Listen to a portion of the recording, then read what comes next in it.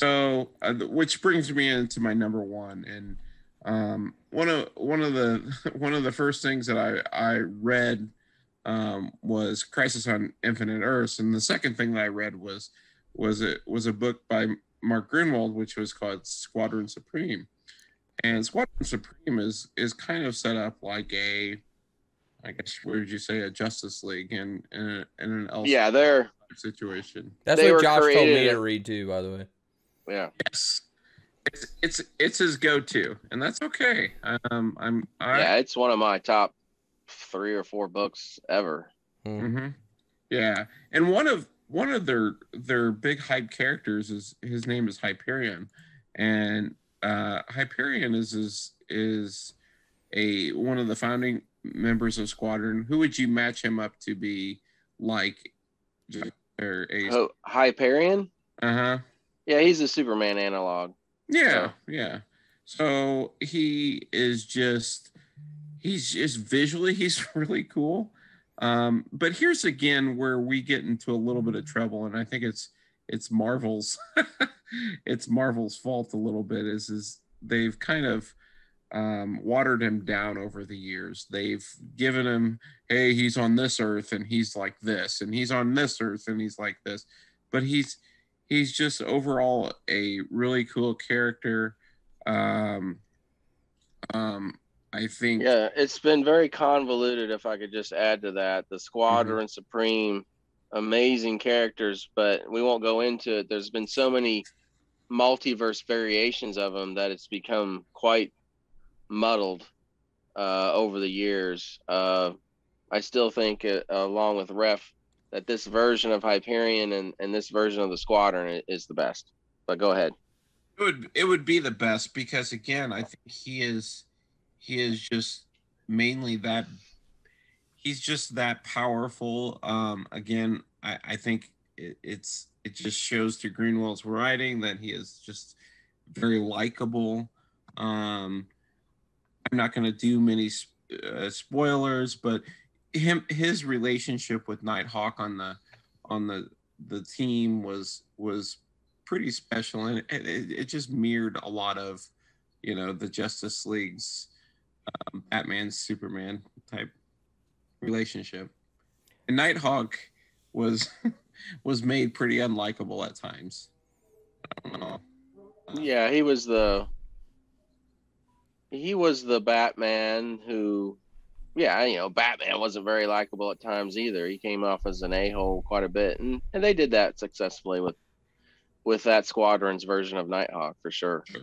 So uh, one question I want each time we're doing this, if you feel Hyperion's gonna make it on the big screen, now tell me a scenario of how that would happen. Like you said, um, Justice League Dark for the other one. So what what do you feel this one Well, would go? I think Hyperion could could you know um, if if they're opening up the the multiverse in any way, um, if if we're seeing any Elseworlds type stuff, I I I- really think he would.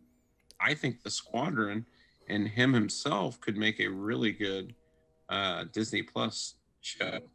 Um, and the reason I say that is is because they're um, their story is is pretty unique. Um, I think Ace can can speak to the idea that the the what was it twelve issues? Well, how how long was the squadron? Gruenwald's?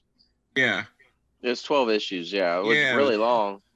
it, that 12 issues though was was was a pretty defining um thing where they they battled you know this and, and they were brainwashed in in in, in different ways and Tons of ethical questions were brought up about what you would do as all powerful beings. Would you let humans do what they need to do, or would you take control because you think you know what's best and you're only trying to mm. do what's best for humanity and all kinds of great ethical questions. That's why that story still resonates today, in my opinion.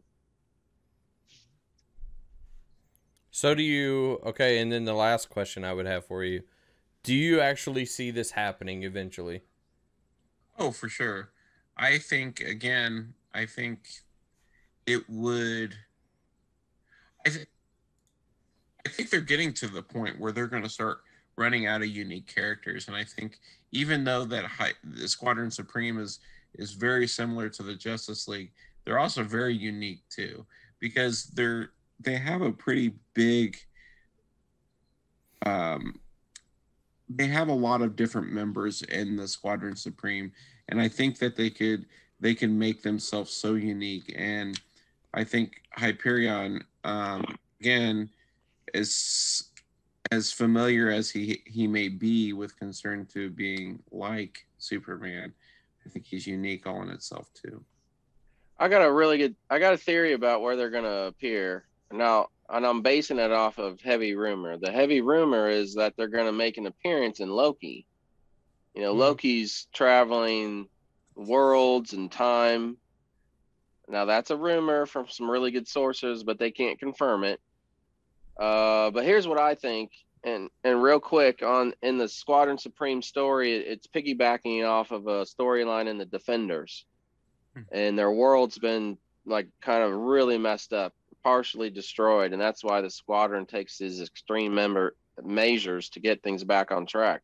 I I think it would be really super cool if they spun out of Loki. You know, they're in an episode, let's say, and like ref says they become a Disney Plus show. Mm-hmm. And they'd be crazy not to just adapt the Gruenwald storyline in a Disney Plus series.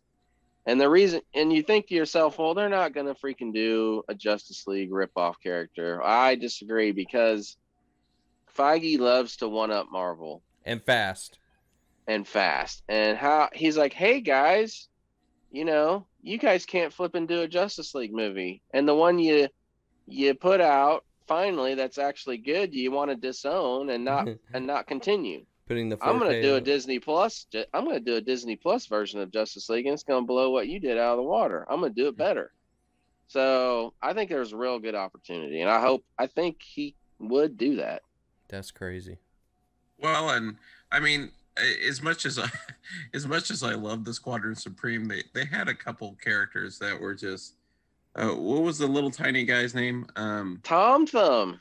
Oh yeah, Tom Thumb. He's uh, the analog for uh, the Atom. Yeah, he was pretty goofy looking and acting, and he didn't do it for me. Well, I, I uh, he was a little person, and so I, you've already cast Peter Dinklage in, in as Tom Thumb. I mean, it's just how it's going to be. Wow. If you have enjoyed what you have watched, please hit the subscribe button and make sure you check out our other videos. Thank you.